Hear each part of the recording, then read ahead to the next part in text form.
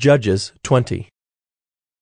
Then all the people of Israel came out from Dan to Beersheba, including the land of Gilead, and the congregation assembled as one man to the Lord at Mizpah. And the chiefs of all the people, of all the tribes of Israel, presented themselves in the assembly of the people of God, four hundred thousand men on foot that drew the sword. Now the people of Benjamin heard that the people of Israel had gone up to Mizpah. And the people of Israel said, Tell us, how did this evil happen? And the Levite, the husband of the woman who was murdered, answered and said, I came to Gibeah that belongs to Benjamin, I and my concubine to spend the night. And the leaders of Gibeah rose against me and surrounded the house against me by night. They meant to kill me, and they violated my concubine, and she is dead. So I took hold of my concubine and cut her in pieces, and sent her throughout all the country of the inheritance of Israel, for they have committed abomination and outrage in Israel. Behold, you people of Israel, all of you, give your advice and counsel here. And all the people arose as one man, saying, None of us will go to his tent, and none of us will return to his house. But now, this is what we will do to Gibeah. We will go up against it by lot, and we will take ten men of a hundred throughout all the tribes of Israel, and a hundred of a thousand, and a thousand of ten thousand, to bring provisions for the people, that when they come they may repay Gibeah of Benjamin for all the outrage that they have committed in Israel. So all the men of Israel gathered against the city, united as one man. And the tribes of Israel sent men through all the tribe of Benjamin, saying, What evil is this that has taken place among you? Now therefore give up the men, the worthless fellows in Gibeah, that we may put them to death and purge evil from Israel. But the Benjaminites would not listen to the voice of their brothers, the people of Israel. Then the people of Benjamin came together out of the cities to Gibeah to go out to battle against the people of Israel. And the people of Benjamin mustered out of their cities on that day twenty six thousand men who drew the sword, besides the inhabitants of Gibeah, who mustered seven hundred chosen men. Among all these were seven hundred chosen men who were left handed. Every one could sling a stone at a hair and not miss. And the men of Israel, apart from Benjamin, mustered four hundred thousand men who drew the sword. All these were men of war. The people of Israel arose and went up to Bethel and inquired of God. Who shall go up first for us to fight against the people of Benjamin? And the Lord said, Judah shall go up first. Then the people of Israel rose in the morning and encamped against Gibeah. And the men of Israel went out to fight against Benjamin, and the men of Israel drew up the battle line against them at Gibeah. The people of Benjamin came out of Gibeah and destroyed on that day twenty-two thousand men of the Israelites. But the people, the men of Israel, took courage, and again formed the battle line in the same place where they had formed it on the first day.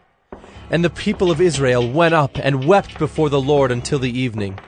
And they inquired of the Lord, Shall we again draw near to fight against our brothers, the people of Benjamin? And the Lord said, Go up against them. So the people of Israel came near against the people of Benjamin the second day. And Benjamin went against them out of Gibeah the second day, and destroyed eighteen thousand men of the people of Israel. All these were men who drew the sword. Then all the people of Israel, the whole army, went up and came to Bethel and wept. They sat there before the Lord and fasted that day until evening, and offered burnt offerings and peace offerings before the Lord.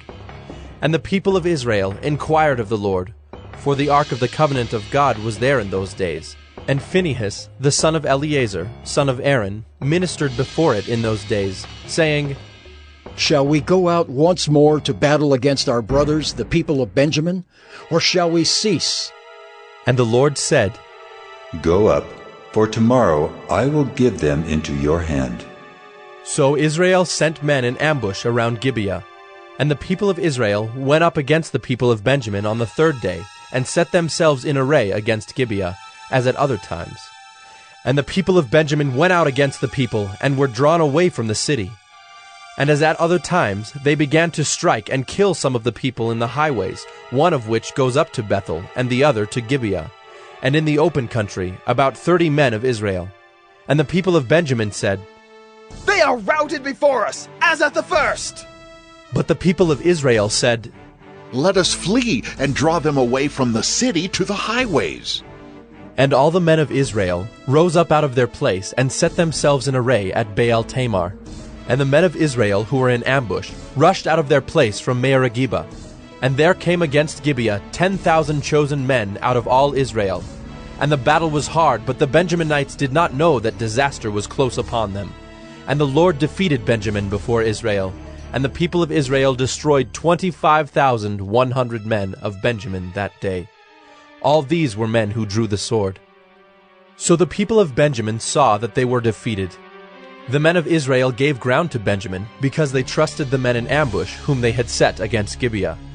Then the men in ambush hurried and rushed against Gibeah. The men in ambush moved out and struck all the city with the edge of the sword. Now the appointed signal between the men of Israel and the men in the main ambush was that when they made a great cloud of smoke rise up out of the city, the men of Israel should turn in battle. Now Benjamin had begun to strike and kill about thirty men of Israel. They said, Surely they are defeated before us, as in the first battle. But when the signal began to rise out of the city in a column of smoke, the Benjaminites looked behind them, and behold, the whole of the city went up in smoke to heaven. Then the men of Israel turned, and the men of Benjamin were dismayed, for they saw that disaster was close upon them. Therefore they turned their backs before the men of Israel in the direction of the wilderness, but the battle overtook them. And those who came out of the cities were destroying them in their midst. Surrounding the Benjaminites, they pursued them and trod them down from Nohah as far as opposite Gibeah on the east. Eighteen thousand men of Benjamin fell, all of them men of valor. And they turned and fled toward the wilderness, to the rock of Rimmon. Five thousand men of them were cut down in the highways, and they were pursued hard to Gidom, and two thousand men of them were struck down. So all who fell that day of Benjamin were twenty-five thousand men who drew the sword, all of them men of valor. But six hundred men turned and fled toward the wilderness to the rock of Rimmon, and remained at the rock of Rimmon four months. And the men of Israel turned back against the people of Benjamin, and struck them with the edge of the sword, the city, men and beasts, and all that they found. And all the towns that they found they set on fire.